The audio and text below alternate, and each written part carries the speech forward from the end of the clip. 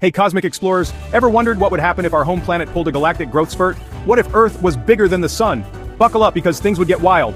First things first, let's wrap our heads around the sheer scale difference. Our sun is a colossal ball of fire containing over 99.8% of the solar system's mass. You could fit over a million Earths inside it. So imagining Earth bigger? That's a cosmic game changer. The most immediate and dramatic consequence? Gravity.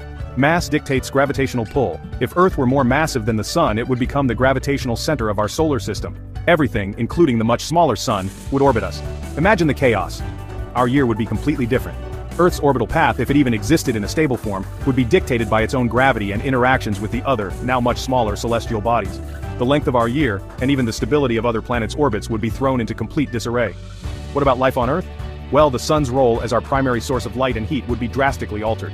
Orbiting a much smaller, less massive sun from a greater distance, due to gravitational shifts, would likely plunge Earth into a perpetual deep freeze.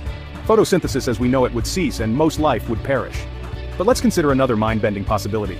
How did Earth even get that big?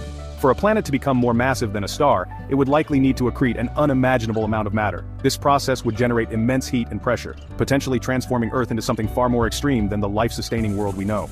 It's also worth noting that objects this massive often ignite nuclear fusion in their cores, becoming stars themselves. So, a truly Earth-sized object with more mass than our sun might not even be a planet in the traditional sense. It could be a failed star, a brown dwarf, or something entirely new and bizarre. Ultimately, an Earth bigger than the Sun is a fascinating thought experiment that highlights the crucial role mass and gravity play in shaping our universe and our very existence. It underscores just how perfectly balanced our solar system is for life as we know it. So, while it's fun to imagine, let's be grateful for our perfectly sized sun. What other cosmic what-ifs are you curious about? Let me know in the comments below.